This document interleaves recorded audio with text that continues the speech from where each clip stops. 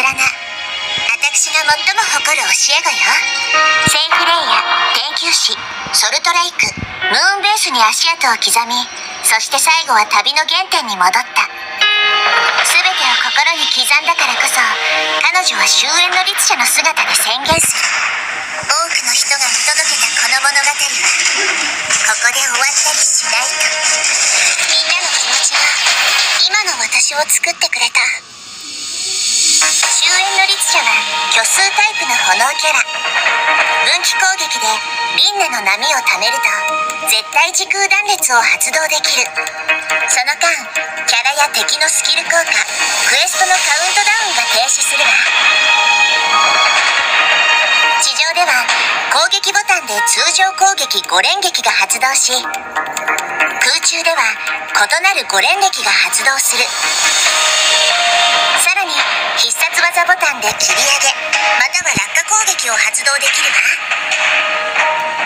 通常攻撃切り上げ落下攻撃は降臨カウントを獲得可能よ。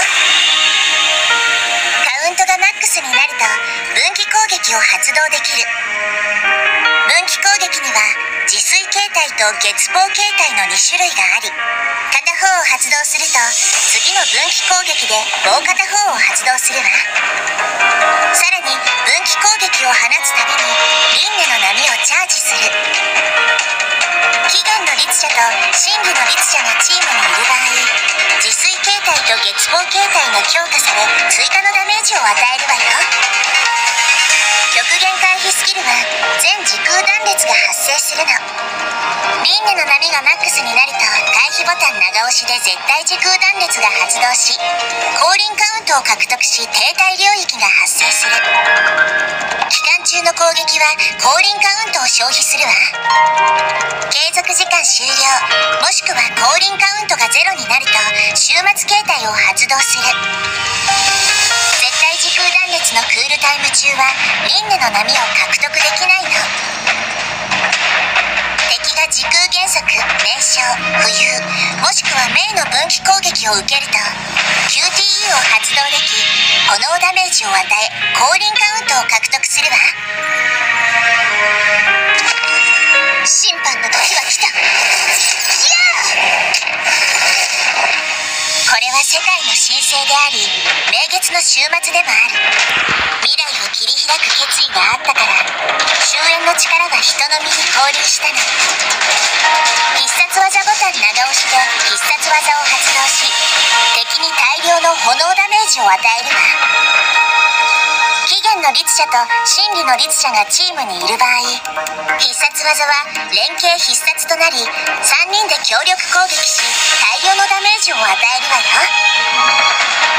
実戦ではクロノストラベラーがバフを与え真理の律者が接続形態で分岐攻撃と必殺技を放ち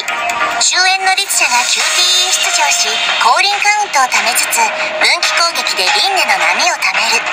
2回の分岐攻撃で輪廻の波をマックスにして絶対時空断裂を発動し通常攻撃と分岐攻撃でダメージを与え最後は必殺技で片付けましょう。律者と真理の律者がチームにいる場合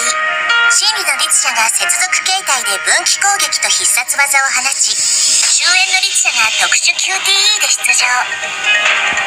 降臨カウントをため分岐攻撃で起源の律者を QTE 出場させ過信断滅と爆発連携を放ち再び終焉の律者が特殊 QTE で出場。降臨カウントをため分動した後絶対時空断裂を発動し終末形態を放った後連携必殺で強力攻撃を仕掛けましょう古の楽園ではまず終月の祝福を選びその後自撃と空明の祝福を狙ってね。共通刻印は戒律の2つ目の革新刻印。支援枠は雲木単身と鬼鎧にするといいわ。戦闘中通常攻撃と分岐攻撃でダメージを与え専用刻印で効果がアップした必殺技で大ダメージを与えましょう。また試練の祝福を選びその後血縁の祝福と空明の祝福を選びながら共通刻印を螺旋の2つ目の革新刻印にして絶対時空断裂発動後の分岐攻撃で攻める手もあるわ。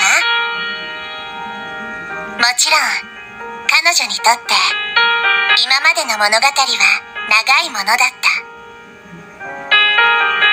あの時の少女が今の話を聞いたらきっと唖然として信じないでしょうね。とためらったりしないはずよ。だって彼女はキアナ・カスラナだもの。